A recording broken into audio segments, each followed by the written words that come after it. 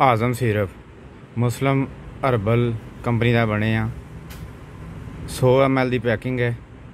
ਇਹ ਬੰਦ ਪੋਟ ਹੋਵੇ ਬਦਹਜ਼ਮੀ ਹੋਵੇ, ਉਲਟੀਆਂ ਹੋਣ, ਕਬੂਤਰ ਜਾਂ ਪਰਿੰਦੇ ਬਾਕੀ ਦਾਣਾ ਗਲਛਦੇ ਹੋਣ ਜਾਂ ਅੰਤੜੀਆਂ 'ਚ ਸੋਜ਼ਸ਼ ਹੋਵੇ ਜਾਂ ਪਤਲੀ ਬਿੱਠ ਮਾਰਦੇ ਹੋਣ ਉਹਦੇ ਵਿੱਚ ਇਹ ਆਜ਼ਮ ਸਿਰਪ ਆਪਣੇ ਪਰਿੰਦਿਆਂ ਨੂੰ ਤੁਸੀਂ ਦਿਓ।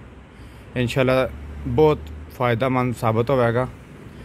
ਔਰ ਸ਼ਦੀਦ ਬਿਮਾਰੀ ਦੀ ਸੂਰਤ ਵਿੱਚ ਡਰਾਪਰ ਦੇ ਜ਼ਰੀਏ ਤੁਸੀਂ ਇਹਨਾਂ ਪਰਿੰਦਿਆਂ ਨੂੰ ਇਹ ਸਿਰਪ ਦੇ ਸਕਦੇ ਹੋ।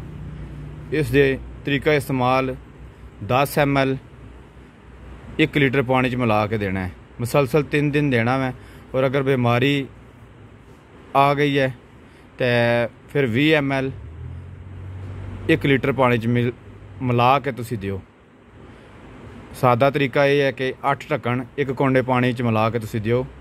ਪਾਣੀ ਤਾਜ਼ਾ ਔਰ ਸਾਫ਼ ਹੋਵੇ।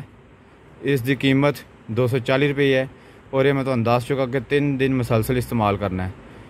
ਹਰ ਤਰ੍ਹਾਂ ਦੇ ਪਾਲਤੂ ਪਰਿੰਦੇ, ਕਬੂਤਰ, ਤੋਤੇ, ਮੁਰਗੀਆਂ ਔਰ ਅਸੀਲ ਮੁਰਗੇ ਵਗੈਰਾ ਨੂੰ ਤੁਸੀਂ ਇਹ ਸਿਰਪ ਦੇ ਸਕਦੇ ਹੋ।